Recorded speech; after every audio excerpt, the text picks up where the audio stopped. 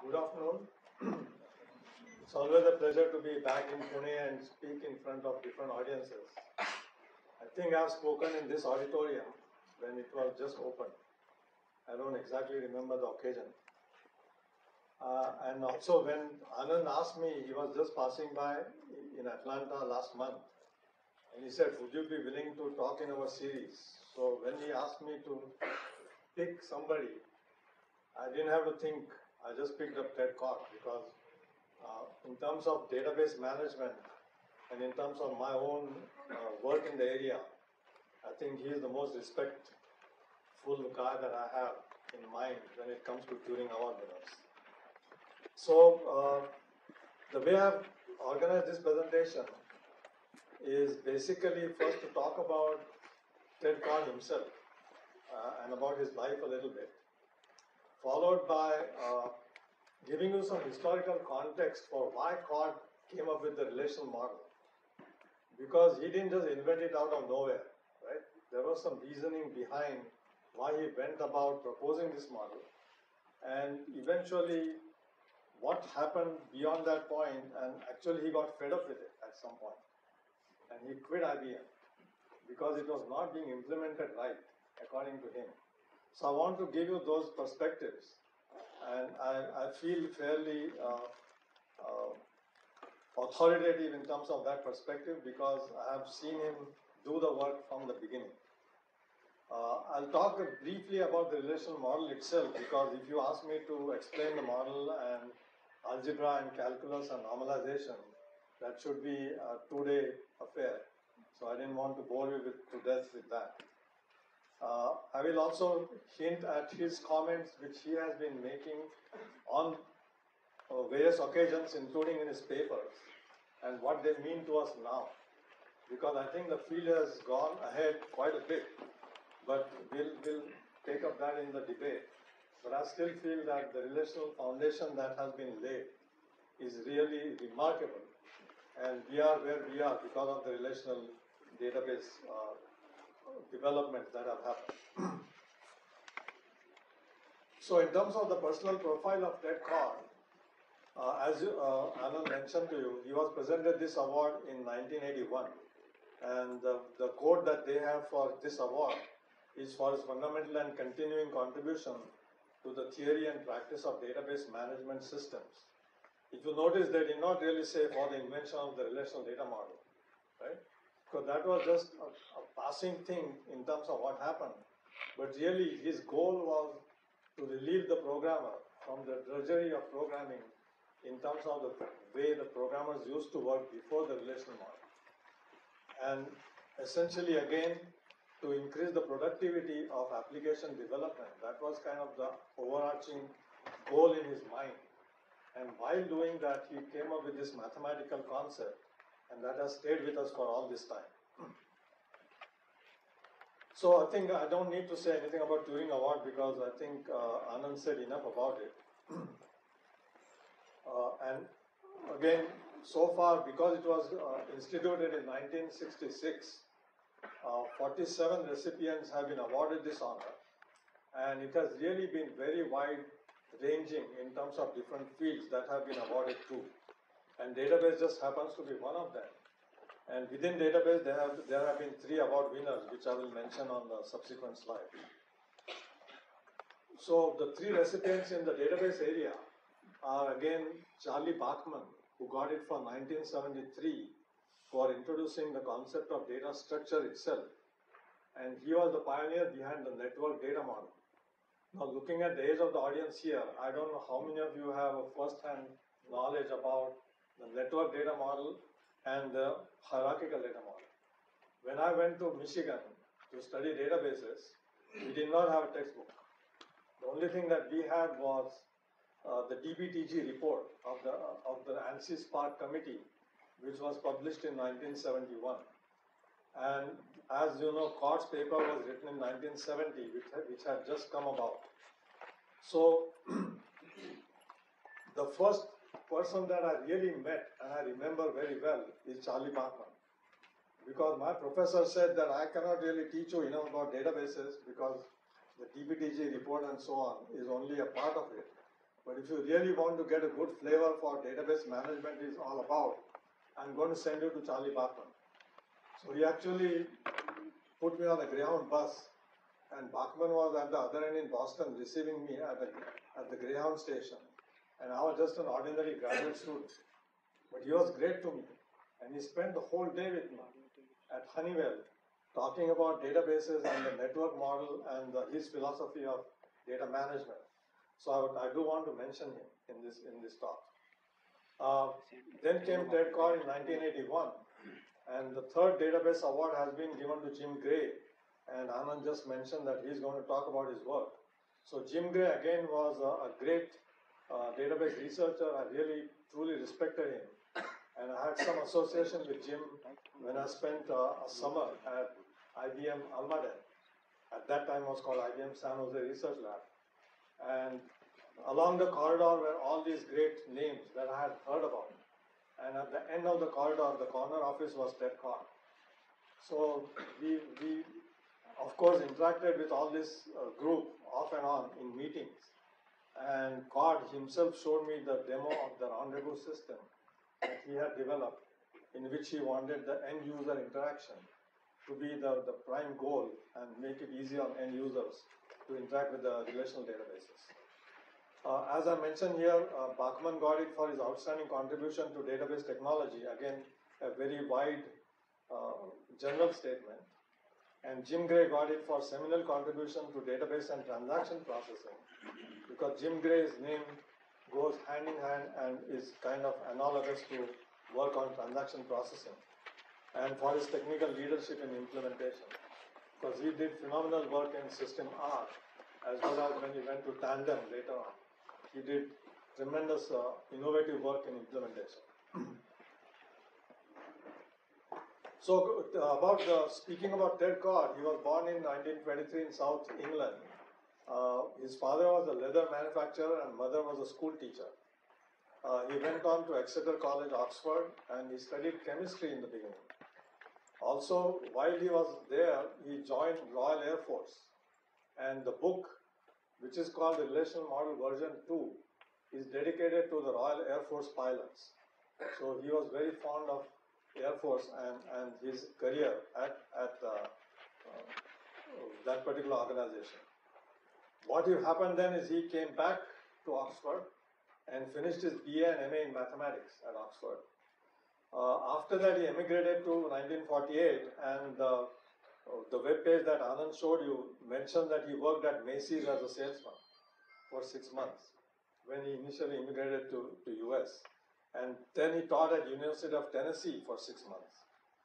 After that, he joined IBM, and his career with, IBM then spans right from 1949 to, I believe, 1984. So it's like about 35 years he was with IBM, off and on, because he took time off to join uh, University of Michigan and finish his PhD. He also went in between to Canada and managed a computer center in 1953 and rejoined IBM in 1957. So he was known for the computer design, the architectural hardware part of it, for IBM 701 and the Stretch computer. I didn't know about this machine. I started my career in India with IBM also, and I started with 1401s. So I don't know again historically how many of you have known about 1401s and 1620s and so on. Those were the machines we worked with at that time. Uh, and he's also credited with development of the world's first multi-programming system, kind of an operating system type of work. so as I said, he joined University of Michigan later on during his career and finished his PhD rather late in 1965, which would be at the age of 42. So that's kind of a very different type of career than typical research people and typical uh, academicians who have been getting this award in terms of the series of people that you see. Uh, so if you look at his academic work, you can state these points, namely that his PhD was on the theory of self-reproducing automata, not really anything to do with data and data management and databases. It was published later as a book called Cellular Automata by Academic Press. He also worked on high level techniques for software specification and multi-programming. So you can say that work belongs to operating systems as well as software engineering. And then he comes to creation and extension of the relational approach to database management. Right? So that, that's kind of a later, uh, in terms of his own thinking process and in terms of his academic contribution. And then he does a little bit of natural language oriented work in terms of the rendezvous system that I mentioned to you. uh, as I mentioned to you, he quit IBM in 1984 because he was not happy with the so called incomplete implementation of the relational model that IBM did, and overall the whole industry was doing.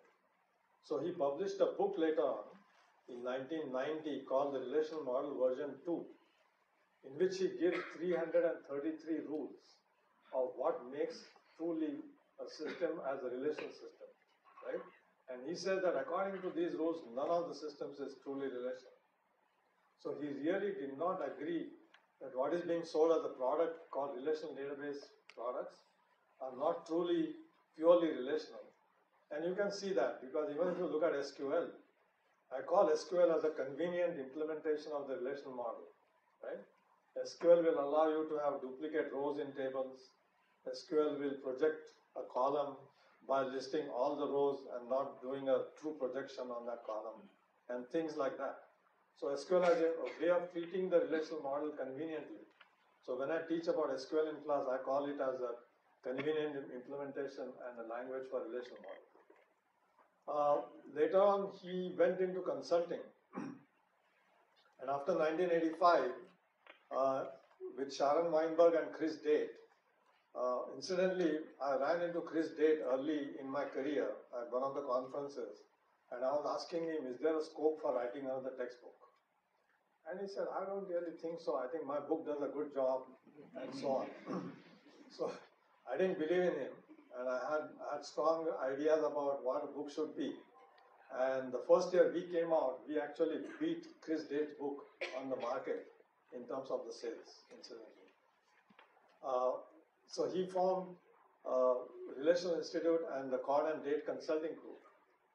And he saw in during his lifetime the database industry really to mushroom and to, to really grow into billions of dollars.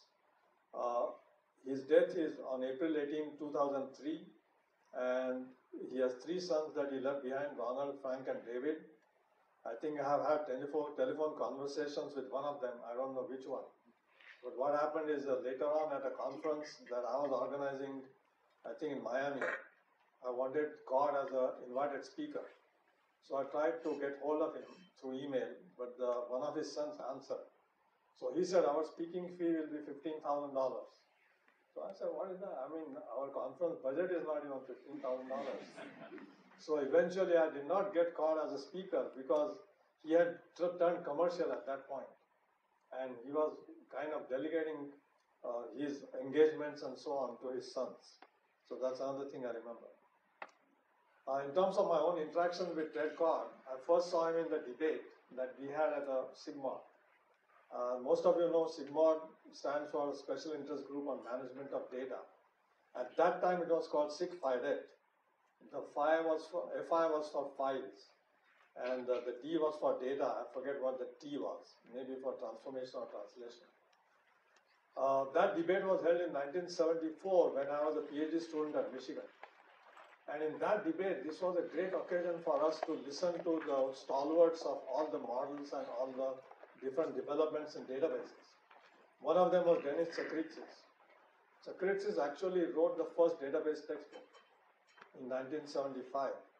And he was at that time uh, University of Toronto professor, and he was the proponent of the hierarchical model. So he, together with some IBMers, were kind of pitching uh, for the hierarchical model. Charlie Bachman, whom I mentioned to you earlier, was pitching for the network model, and Ted Codd and his team was pitching for the uh, relational model. So it was a very great debate that we got to hear. And at the last SIGMOD, actually the recent SIGMOD that was held in Phoenix, uh, Bruce Lindsay of IBM uh, gave a speech because he was given the Ted Codd Innovation Award. And in that speech, he mentioned this debate. And he said that this debate was a turning point in database history. And he asked, was there anybody in this audience at that debate? And I was the only one who raised my hand. So he asked me to come to the podium and talk about that debate, which I did at the seminar. Uh, I met with him and interacted with him reasonably in terms of uh, my summer uh, employment at IBM in 1978 summer. And as I mentioned to you, I had very good interactions also with the entire System R gang, including Kapali Eswaran and uh, Mike Blasgen and Raymond Lorie and all these great stalwarts who developed basic fundamental ideas in database management. I'm getting stuck, think. Uh, then I got to interact with him a little bit more closely because I was a faculty at NYU and we used to have routine meetings at AT&T uh, labs in Holmdel, New Jersey. And Ted Codd somehow used to come to that meetings. So we had very good debates and very good discussions about data management and AT&T were themselves developing a, a relational oriented database system for call processing and call switching which went into their uh, call switching apparatus. So we had very good discussions and I got to interact with him fairly closely at that time. Of course, I met him at several conferences later and the thing I again remember at the, as a last major interaction with him was when we were on the same podium in Amsterdam where there was a new database technology conference and himself and myself and the third speaker, we were asked to speak about the advances in database technology going on at that time. so I want to give you some perspective about why Codd invented the relational data model, right? And because historically, uh, I kind of got into this field myself in 1973, soon after the relational model was invented. I have traced this history fairly closely in terms of what happened there. So as I mentioned to you, the 63-64 is the first major year where database technology really starts. And that is the development of the IMS hierarchical model-based system. And again, I keep telling my students that you cannot forget IMS because I think, to, in my estimation, in terms of all the data in the banks, the hospitals, the governments, and large institutions, I, in, I feel that about half of the world's data still resides in IMS at the enterprise level, right? And that is being churned day in and day out. What has happened is it has gradually been moving over to the relational platform. But IBM made tremendous revenues out of IMS, and IBM continues to believe in IMS and supports it. So there's a whole bunch of people in IBM still supporting it, and the hierarchical model is not going to go away just like that. It will only gradually taper off. And if you look at the current developments in XML and so on, they remind me of the hierarchical systems in the past. Because XML again has a hierarchical orientation to it. Then comes the Honeywell development of IDS, which was an integrated data store, a network model-based system. And Bachman wrote this paper about software for random access processing in Datamation in 65, kind of based on his ideas about this particular system. So this system really gave rise to a way of thinking about data, which was graph oriented, where records were considered as nodes on the graph, and the links were the, the relationships between these records, right? And the system that came about, one of them which was very popular was a system called Total. And Total was uh, uh, manufactured by, I think, SDRC of Cincinnati, or rather Cincom of Cincinnati and had a tremendous following. So when I started teaching databases, I actually taught Total in my, my database classes because that was a popular system at that time. Vijay is nodding his head, so I think Vijay knows about it. Uh, in terms of the set-oriented thinking, the thinking really starts with Dave Childs. Dave Childs was another mathematician from Ann Arbor, Michigan. Most of the database uh, Eventually, the root can be found in Ann Arbor, Michigan, because that's where Ted Codd got his PhD. That's where I got my PhD. Uh, Dave Child was again a good colleague and was a good uh, discussant And when I was a graduate student, he used to come to seminars on the campus and used to talk about his, his ideas. And he wrote this paper about set oriented thinking, and as you see, it was published in IFIP Congress in 1968. So it preceded the relational data model, but it had all the basic ideas of looking at the data in terms of set oriented processing. So Dave Childs keeps saying that I am the inventor of the relational model. Whenever I was to meet him later on, he felt bad that somebody else gets the full credit and Dave Childs never gets mentioned.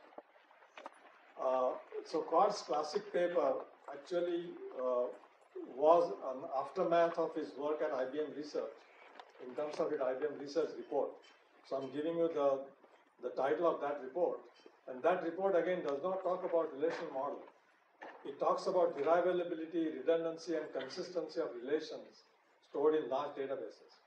So here in this paper, he was targeting more about talking about these properties of relational data, not so much about the expansion and the complete formulation of the relational data model.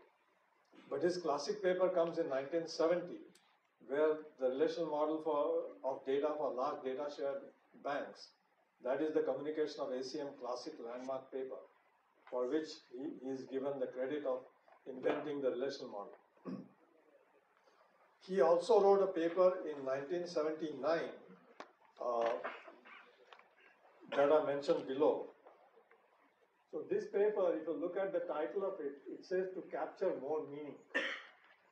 So what happened here is that Codd had invented the relational model and it saw a tremendous amount of activity in the industry in terms of development. But at the same time, there was a lot of work between this paper and this paper. This is spans about 10 years, right? During that time, there was a lot of work done on the so-called semantic modeling. And particularly, there were people like uh, Diane Smith and John Smith who wrote full papers on aggregation and generalization of data in uh, ACM TODS. Or there was a paper by Hammer and McLeod on the semantic data model, right?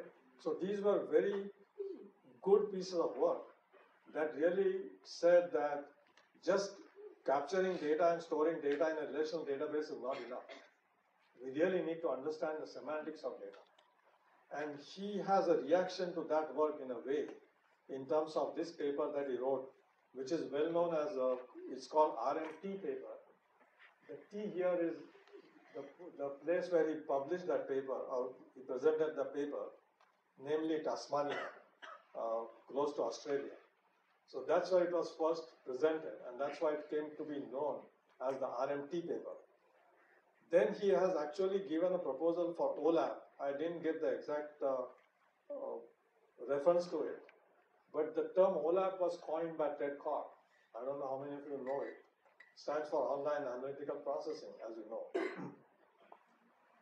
Later on, he publishes this book, which is in 1990, to define relational database systems in general. And this is the book where he tries to consolidate all his thinking about the relational data model and about the systems in, in, that implemented the relations. And basically, uh, in this book is where he has laid out the complete foundational ideas. And it's a worth reading book. I don't know if it's available now. I have a copy of my own. Uh, he also published 12 rules of relational database systems, and they were published by Computer World, which was a popular data processing weekly so this kind of reached a lot of wide audience in terms of managers who saw that in order to be truly relational, a system has to follow these rules. And these are very fundamental rules he talked about. If you look at what happened after the relational model, uh, IBM was initially reluctant to commercialize this data, this idea. Uh, the first system that truly came out was Ingres, which was the system coming out of University of California at Berkeley and there was a lawsuit filed between the state of California versus the University of California, saying that the, this work cannot be commercialized and nobody can sell it as a product. And Stonebraker won the lawsuit, and because on the grounds that this is all published work, this is the work of PhD students, so anybody can take it and build a system from that work, right? So he won the lawsuit. He formed a company called Relational Technology Inc which later on became Ingres Inc. And the product was called Ingres. I guess most of you are aware of the open source system called Postgres SQL now, right? The word Postgres comes from the word Ingres. And Ingres was the pioneer initial system. It was slowly modified and more and more object oriented features were added to it and was later on called Postgres. And the, then he added some multimedia and other features, and there were some other uh, products that came out of those two, which eventually ended up at Informix. Uh, by the way, there was another company started called Relational Software Inc., which now popularly is known as Oracle Corporation. IBM was at that time contemplating what to do with the, the relational ideas that Codd had proposed. Codd was already an IBM fellow in IBM at that time. So eventually they decided to heavily invest in the System R effort. System R is the research system that they built at IBM. And I would say the development was primarily between, I would say, about 1974 to 1981. So for about seven or eight years, very, very extremely talented and capable people worked on System R. So when I teach database courses, I keep telling the students that all the fundamental ideas of transaction processing, recovery, uh, concurrency control, and all kind of bread and butter data management, you should really thank the work that was done on System R. Because that was the pioneering work that happened. And that work kind of was led off by Ted Codd, but he was not truly managing it or in charge of it. It was going on at IBM Research in San Jose. So eventually IBM markets the product, and the product came out in 1981, which was called the SQL SQL Data System, or SQL slash DS. Was, was for the VSE operating system, and later on in 83 they came out with DB2, which is now the leading IBM relational database product. Initially came out for MVS. In terms of the non-relational developments after the relational model, the major development to really uh, state here is the 1971 DBTG task group report from ANSI. And most of the companies really followed this report. So companies like Burroughs, Univac, Digital, all of them came out with products which were all network oriented. So some of you may have heard about and worked on uh, DMS2 and Univac DMS 1100 and such products. Also, the uh, product that I mentioned earlier, namely Total, and uh, many such products other than IMS, right, were all network oriented. So there was kind of a big war going on in between, where on one hand there was the hierarchical system of IMS, which was proposed by IBM, and the entire telephone, the tele, uh, sorry, communication and the computing industry was behind the net network model. And they developed so many products in that area. But at the same time, relational effort was going on. And then I have pointed out the major relational effort that happened that time while this concurrently was going on.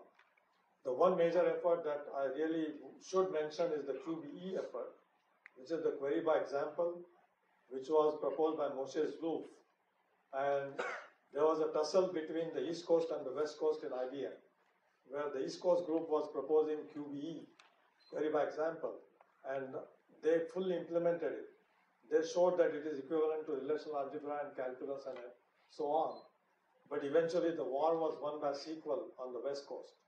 And that's why you see the, the, the predominant of, predominance of SQL now. Uh, in 1976, Chamberlin proposed the SQL language, and notice the spelling of SQL here. It was called SQL to Square because initially he proposed a language called Square. And later on he proposed the SQL to Square. So he called it as S-C-Q-U-E-L, SQL to Square. IBM tried to copyright the word SQL, they could not. So they copyrighted the word SQL. Okay, that's what SQL comes from. It does not come from structured query language. It comes from the word SQL.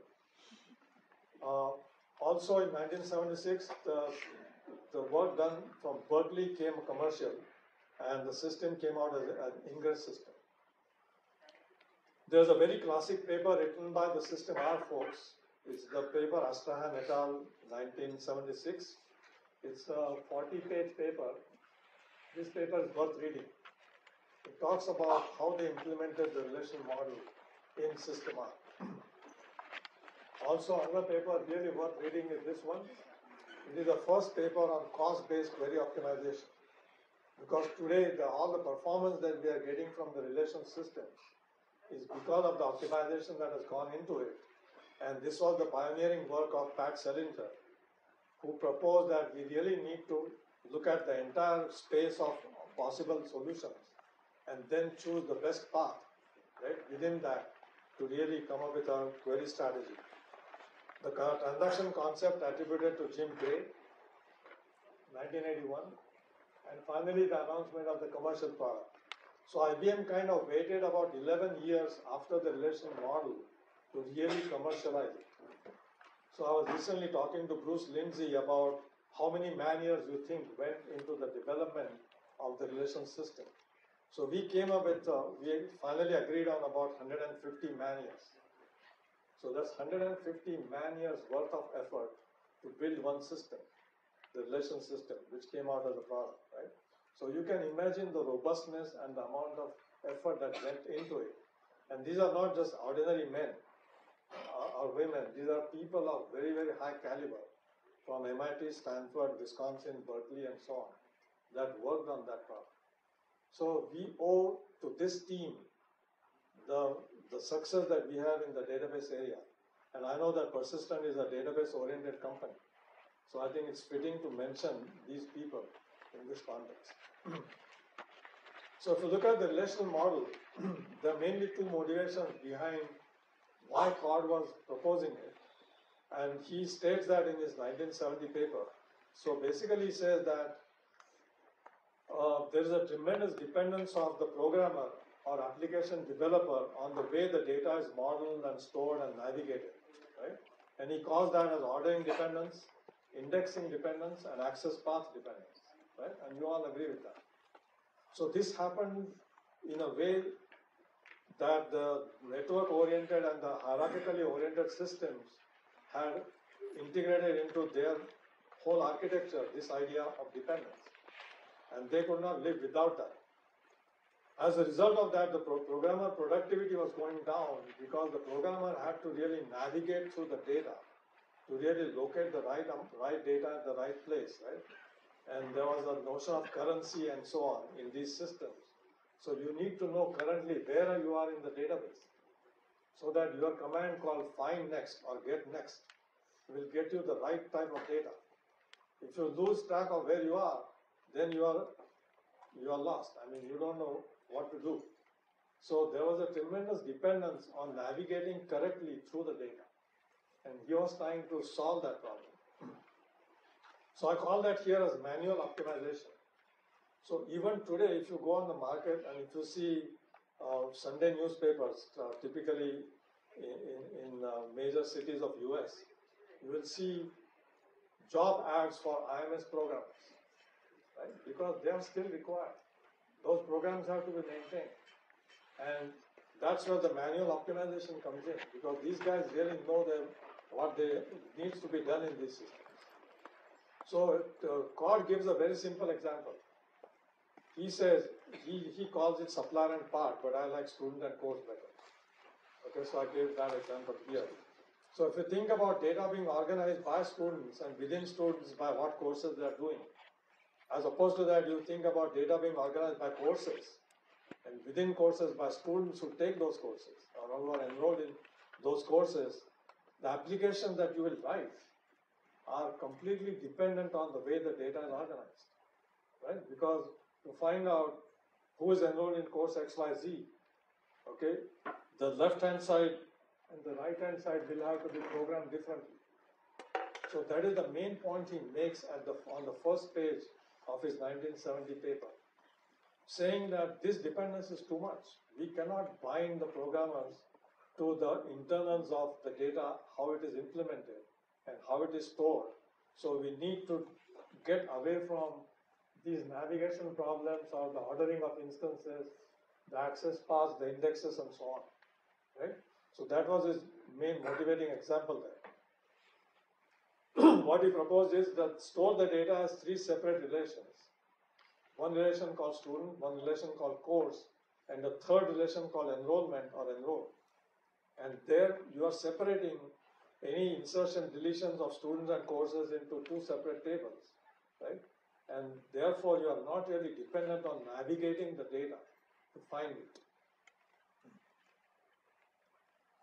If you look at the fundamental concept that he mentions in these two papers, the 69 IBM research report and the 70 classic paper, he has mentioned these ideas which have really taken off later on. So he says that a relation can represent an entity as well as an inter-entity relationship, right? And you know, all of you know that. So for example, student is a relation which stands for an entity, student, whereas enroll is a relation which stands for the relationship between the student and the course. So this idea again was very well articulated later on in the ER model where we draw these diagrams, where you have entities and entity types and relationship types that connect them, right? So Peter Chen actually presented his paper in front of my paper in VLDB uh, in 1975. It was the first VLDB. And he spoke, he his English was not the greatest, so I had most difficulty in understanding what he was talking about. Then uh, after the after he presented the paper, I asked him, "What is exactly your paper all about?" So he said, "All I'm doing is putting some semantics on top of relations." Okay, and I still believe that in order to really understand relations correctly, you need to have this semantic understanding. What is an entity? What is a relationship? Right? And if you know exactly what's going on in those two terms, and you have a conceptual understanding in terms of an ER diagram, you really benefit a lot. He talks about a concept of symmetric exploitation of relations. What he means by this is that if I give you a relation with a bunch of attributes, you can supply me part of those attributes and I should be able to retrieve the rest for you. Right? So given a, if I have an employee relation and I have name, age, salary, and year of joining, and so on. And there's a postal code or zip code there. Given this code, I should be able to find all of these remaining attributes that match on that value, right? And similarly, given a salary value, I can still find the employees who hold that particular salary. So he called that as a symmetric exploitation, saying that given a relation, I should be able to look at it any way I want, symmetrically. Uh, and you know that today's query languages and search engines are very much supporting that idea. uh, he predicts in his paper that while the first order predicates will suffice to deal with most of the, most of the relations, there is a need for second order predicates in case the domain of the attribute is, is itself a relation. Right? So again, that idea is very valid. Again, you see that languages like SQL, for simplicity, for ease of manipulation and understanding, have stayed within the bounds of the first order predicate calculus. They have not gone into second order. The second order implementations were done actually by some experimental systems, particularly so called non normalized or non normal forms or NF squared systems. Right? And there are a bunch of them, and in them we have embedded data. And to process that embedded data, you need primitives which are based on second order predicates. Uh, in that paper, he only defines these operators called permutation, projection, join, and composition. His idea of composition was to join the tables and eliminate the common columns. And that gave rise to the natural join and some other operators later on. He also defined a naming scheme, complete naming scheme, where he has an interesting idea of a generation of a relation. The G here stands for the generation of a relation. I don't think any of the systems really implemented that idea, right? We have relation, then we have a, a role. He mentions the small r as a role.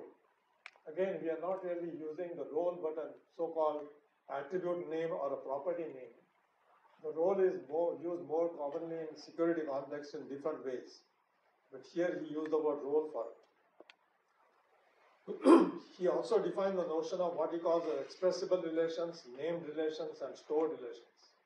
Okay?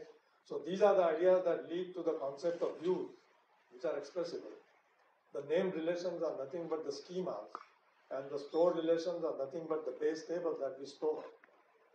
Uh, when he talks about derivable, derivability, he says that the result of a query is a derivable relation because the algebra that he proposed is a closed algebra.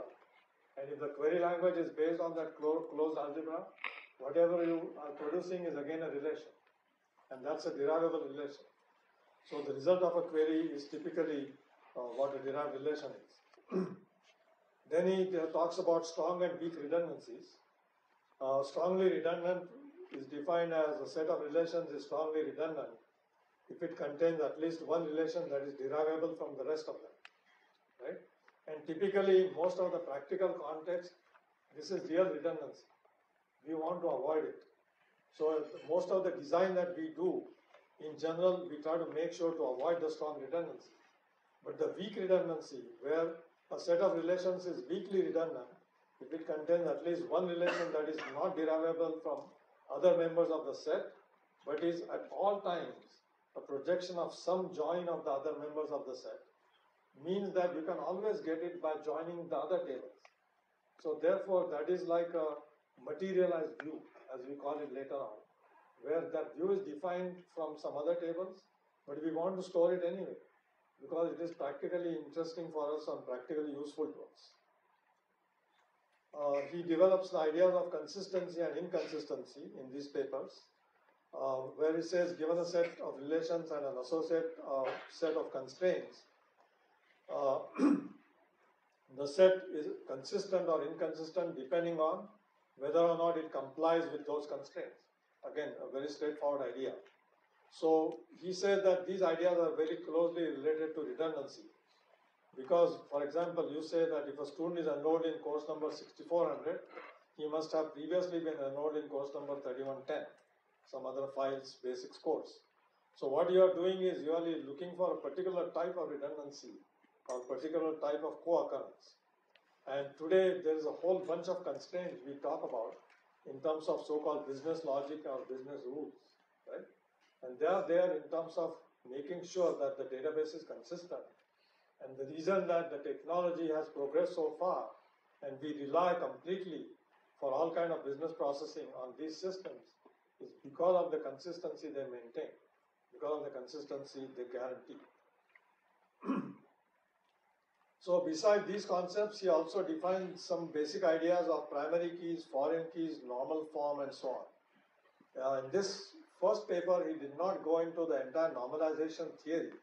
His normalization papers followed after the first paper as IBM research reports, essentially. And in this particular 70 paper, he gives this example, where he says that we typically coming from hierarchical systems, we have this kind of data a lot, right? Where an employee has a job history and data about children. Within job history, he has a salary history, right? And such data has to be kept properly in the relation system. So he says that on one hand, we may start off with these unnormalized relations, but later on we have to convert them to these normalized relations. So here you see that appropriate keys have been propagated so that the data is consistent and the data is hierarchically meaningful. So all these ideas were presented in his 1970 paper. Okay, and you can see that most of these ideas are relevant in terms of what we do in terms of database processing today. Uh, I have a quick tutorial on relational databases. I don't know if I have really time to go through it, so maybe I'll, I'll skip it because I'm going to just quickly mention it. I should make an ad for my book, by the way. So that's the book Fundamentals of Database Systems, and some of these slides are based on my chapter 5 in the book. So basically, we say that the relation looks like a table of values. The relation typically contains a set of rows. A row represents facts, and this is the connection that we make between relational and the and the predicate logic, because the facts are predicates, and the fact is considered to be true for all the data that is in that particular relation.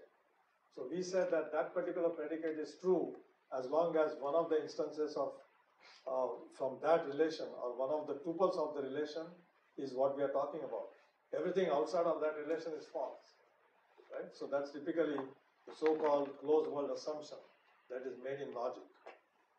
Uh, the column has a column header that gives an indication of the meaning of the data, and in the formal model, they call it attribute and so on. Then there are concepts about the key, about the schema, and you can say these are the informal versus the formal terminology of relational model. And so this is the side of SQL. Right? SQL would talk about data informally, whereas relational model will talk about data formally. So as long as you keep things straight in your mind, you can relate what is written in SQL manuals to what is written in relational database papers because they're basically talking about the same thing. So essentially the point that I made about the relation is that the ordering of tuples in the relation is not significant because it is based on set oriented processing.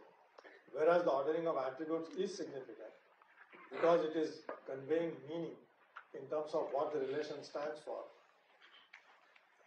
and the other basic assumptions in the relational model is that the values in the tuple are, are atomic. So this notion of atomic again we have been relaxing quite a bit. If you look at today's data, we have a relation in which one column may contain a document, right? Or some other col column may contain an image of the, suppose you have an HR database. You have an employees for which one column may contain their CV, one column may contain their picture. We still call it relational data. The reason is that we are still regarding that data as a single value atomic object. So the atomicity is still a guiding principle and a guiding requirement in the relational model that has not been forgotten and that will never go away. As long as we feel that anything to do with that data is outside the scope of the relation system, right? Within the relation system, it will be retrieved as a single value. Okay, that is the basic idea. And then we have these three kinds of constraints as part of the relational model, which is a key constraints, entity integrity constraints, and referential integrity. It's amazing to uh, know, for example, I came to know that IBM initially released the product DB2 without really putting referential integrity constraints as part of the system. So you can imagine the chaos that that created in the business world. Because the entire business world kind of is geared upon linking data together, right, in multiple tables in terms of foreign keys. And those foreign keys and primary keys have to match, otherwise you are in trouble. So there was a big hue and cry from the field that this is not acceptable, right? So IBM had to withdraw the system and put a patch in the system to put in referential integrity automatic enforcement as, as a part of the implementation. And then we have the super key notion, which says that any key which you append it with some other attributes will again remain and maintain its key properties. So we use that concept a lot in the normalization in other areas. and then we have the notion of candidate keys. So candidate keys again are used and enforced typically in SQL-like languages, for example, by calling some uh, column as unique. When you say it is unique, you are essentially saying that I'm not defining it as a primary key, but I want to enforce a constraint on it. So then there's a notion of a populated database state, which means that a relational schema will have a state which is consistent at all times. And the notion of a transaction is that the transaction will take a database from one consistent state to the next consistent state, right? So those ideas have stayed with the relational model and with the uh, appropriate system that emerged from it. And then the populated tables, we call that as a state or a populated state of a, of a schema. and these are the uh, update operations. The update operations was, were not part of the algebra because they are not really creating new relations out of old relations, but they are doing kind of a tuple level operations. So they are not part of the algebra per se. So if you look at the algebra, the algebra contains these operations namely the select project join operator. The theta join again is a term coined by Codd, in which he says that you should not be dependent on joining the two tables only on the equality condition. You should be able to join tables any way you want, right? There, there, there could be a one address here and one address here, and you, you could say that if this address has a substring that matches another substring of this address, then join them. Join these two tables right? So that's some kind of substring based join. So he said that theta join is a very general join, which is based on any condition, and that is part of the relational model. But what is most commonly used is equijoin, right? And one form of that is natural join. And then there are these basic set operators. So union, intersection, difference, Cartesian product are purely set operations. And division was a special operation was, which was conceived of to take care of the uh, for all type of conditions. But let me not get into that. so again, the calculus development, I'm not going to talk much about that here, but uh, he initially proposed a language which was based on first order predicate calculus, which was called the tuple calculus. And tuple calculus gives rise to sequel as a more syntactically uh, simplified version of tuple calculus. Ingres has a similar language called QUEL, and QUEL had a very direct counterpart with tuple calculus. So there's again an interesting development here that tuple calculus was proposed by Codd in the beginning, which led to the language called square and later on to SQL, which was abbreviated as SQL. On the other hand, on the East Coast, the QBE language came first. So Moshe Zloof proposed the language QBE as a way to deal with databases by giving examples and by only stating some part of the data so that the other parts will be retrieved automatically. Now, this idea has impacted today's web oriented applications a lot because we are filling out forms where we only fill one or two fields and the rest of the fields get automatically populated, right? There's nothing but a QB like concept. So he developed, Moshe Zloof developed this concept. And I had again uh, a fun summer of working one summer with Moshe Zloof on the East Coast. So he said that the way I came up with the idea is that I used to be a general contractor in Israel. And anytime I talk to my people to, in terms of carpentry and brickwork and so on, I used to give them an example. So imagine this particular wall, how is this constructed, right? So he said, how come we are not talking to databases by giving examples? And that's where he came up with that idea of query by example. So I think it's a very powerful idea. It has um, paid tremendous dividends in terms of the current interfaces that are being developed now. But I think it is not getting the credit that it, that it deserves. in terms of the extensions to the relational model, the RMT model, where the T stands for Tasmania that I told you, as I told you, it was based essentially as Codd's reaction or Codd's kind of response to all the work done in the interim period by semantic modeling community. And I would predominantly quote these two groups. Uh, the husband-wife pair of Smith and Smith, who did very substantial work on borrowing ideas from AI into databases, and Hammer and McLeod at MIT. McLeod did his first thesis on semantic data modeling, and Burroughs adopted that model, and Burroughs developed a data, semantic database system. I don't know how many of you have, any knowledge about that. Vijay, you know? There was that system stayed on the market for a very short time. Again, the community was not geared or ready to accept a database system that was semantically oriented and not structurally oriented. he develops a theoretical framework that addresses metadata in very detailed terms in this particular paper. And he gives definitions of these kind of different types of relations.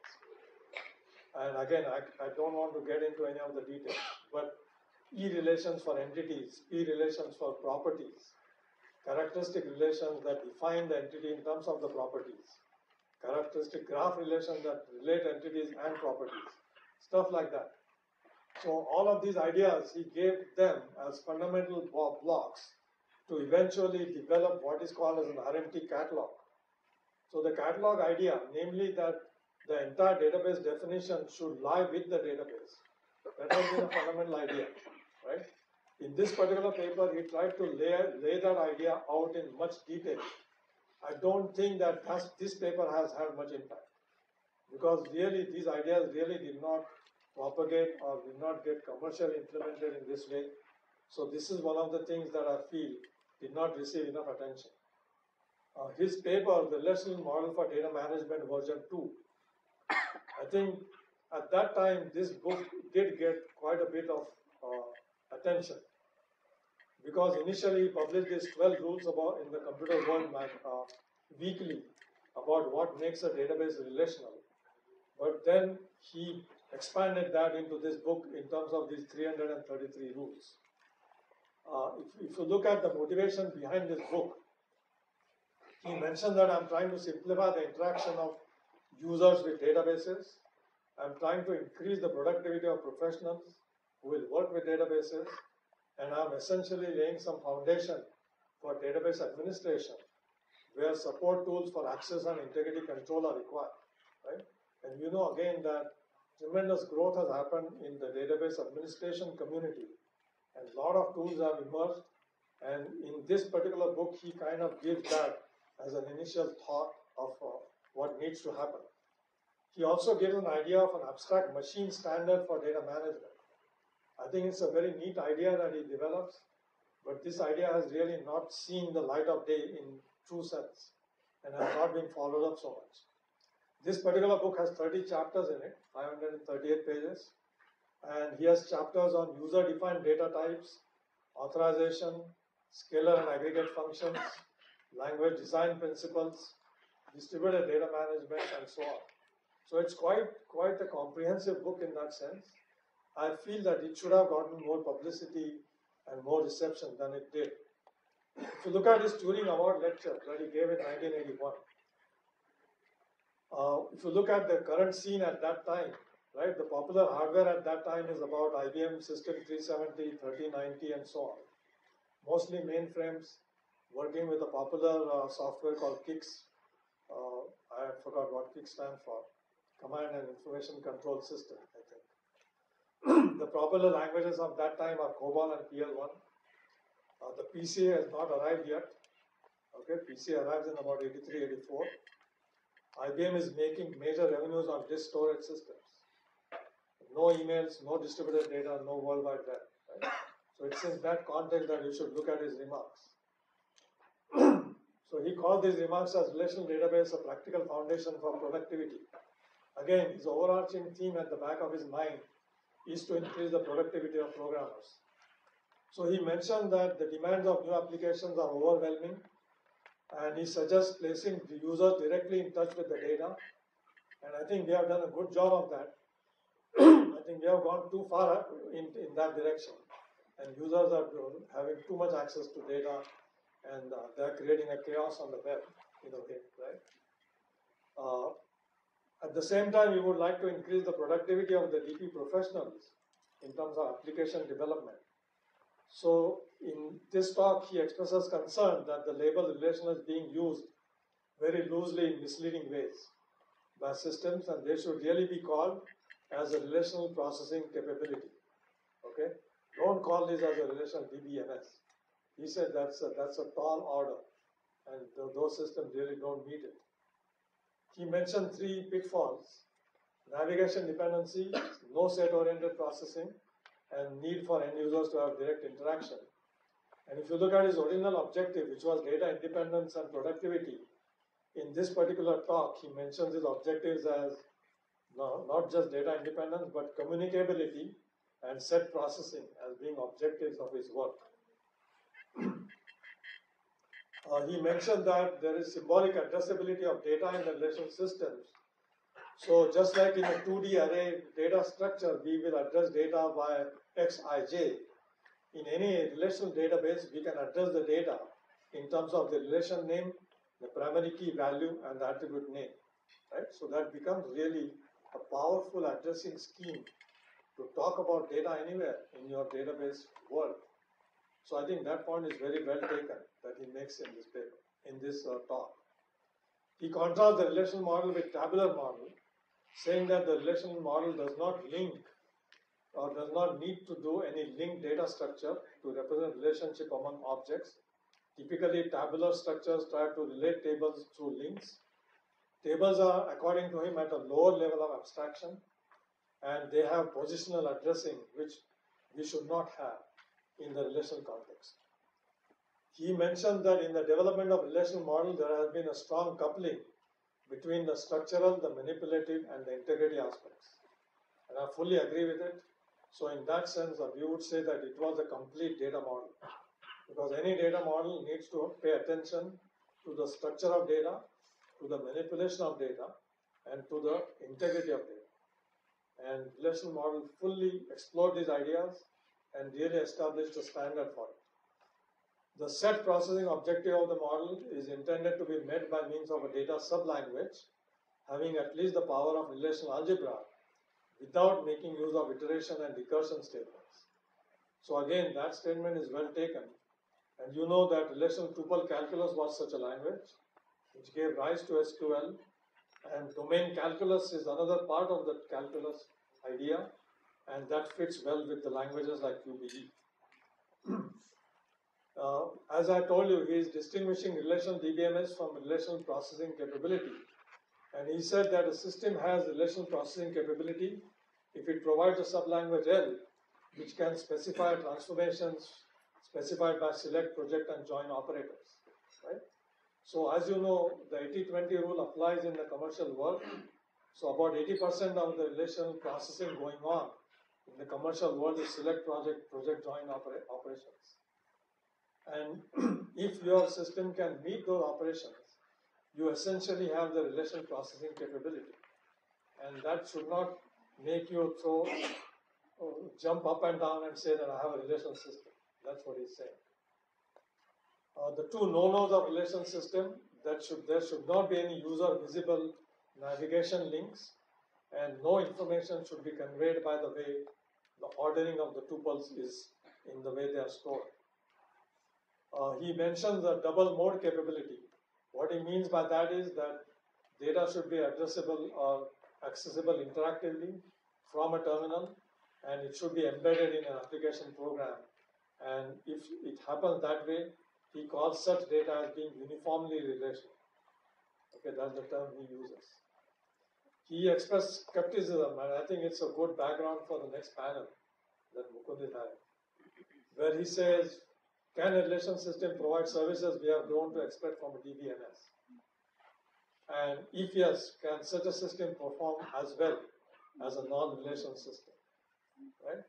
So this is really kind of a, a, a lead theme into the panel that is about to follow.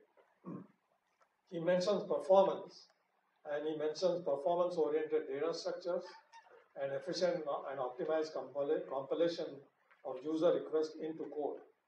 So he says that systems will continue to develop new index structures and work on query optimization, and that work has been never ending. The first PhD that I produced, uh, Rafi Ahmed, is working at Oracle on query optimization for last 23 years. And that is a testament to the thing that query optimization is here to stay. Uh, it must generate code comparable to average handwritten code in simple cases and superior in complex cases. So again, one has to look for that, generating that type of code through optimization schemes. In terms of future directions, he has given a long list here, which is stronger support for domains and primary keys, better support for updating join views. I don't think that has really happened, that the view updating has been restricted by most of the relation systems. Support for outer joins very much has happened.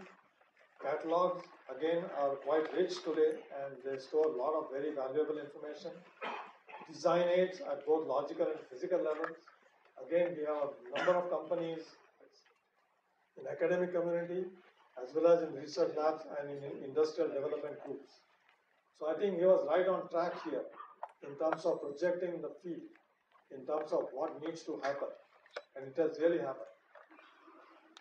Uh, my concluding thoughts are that the relational model has laid a very firm foundation for database management with no comparable or competing development for the last 42 years. Okay, it's a, it's a tremendous record that we have no contender after the relational model to really say that here is another data model that really stands up to it or that really is a good counter argument. You know that the word object oriented model is used a lot, right? But very, very little amount of formalism has gone into it. And there is very much lack of standardization. There have been standards like ODMG and so on. But if the industry and vendors don't follow the standard, the standard is no good, right? So we had a chapter on ODMG which we took out in the last edition of the book. Because if nobody follows it, why should we have it? So that is the thing that's happening. Uh, XML is being touted as another data model. Again, XML is okay, but I don't think it stands up to the model.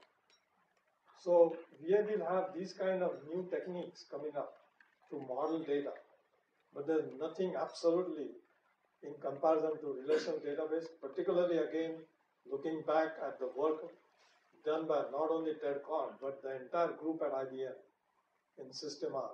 And I don't get any commission from IBM for saying it. So, but I feel that IBM really did pioneering work here and followed it, following a system that came about on the market, like Oracle and Microsoft SQL Server and so on. They were late comers. Uh, in particular, I don't think Oracle has really contributed that much to the research side, but SQL Server and the team at, at uh, Microsoft particularly is contributing a lot, and those contributions will continue. So relational model was a landmark development uh, which provided a basis for formulating a variety of data management problems that we could not address before. Because with the hierarchical and the network systems, there was no way to really concretely talk about ideas like derivability, ideas like redundancy, ideas like consistency, right? Replication. All of these ideas that follow, they have their roots in the development of the relational model. Because without that, you cannot really talk about them concretely and argue about one good approach versus another better approach. It provides a well-defined data model with three strong foundational pillars of data modeling, namely structure, operations, and constraints. Right? Without that, you cannot really capture any data. Uh, his ideas of abstract machine standard for data management is valid, and recent developments, particularly in non-SQL and MapReduce Hadoop type processing, I think need to keep in mind that we cannot let data management proceed in an undisciplined and ad hoc manner. Okay? And that may be, again, a pointer in terms of the panel to follow. On the side of the shortcomings, I think this RM/T model really was an attempt to capture metadata, but did not really live up to what I would expect from Codd because I was expecting that the metadata management standard that he lays in his paper would be a very universally followed idea, but it didn't happen that way.